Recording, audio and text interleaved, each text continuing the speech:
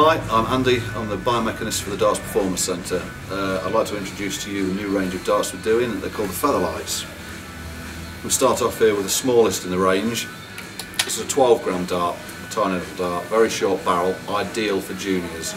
Um, main reason being is, I see a lot of kids out there chucking 23, 24 gram darts, far too heavy. You require a tighter grip to do so and a lot more force to get it to the board. These are ideal to start out with.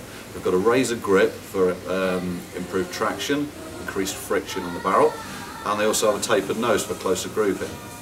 You see there how small the dart is if I hold it in my hands there. Perfect for juniors. In the same design is also the 17 gram.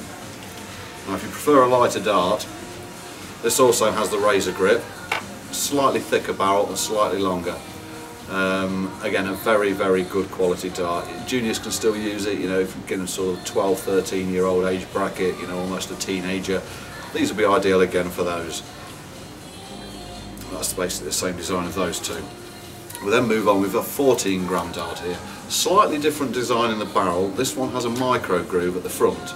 So if you hold the dart at the front, that's fantastic, but it also has a deeper, wider groove at the back, so it doesn't really matter where you hold this dart, you're always going to get some purchase on the barrel.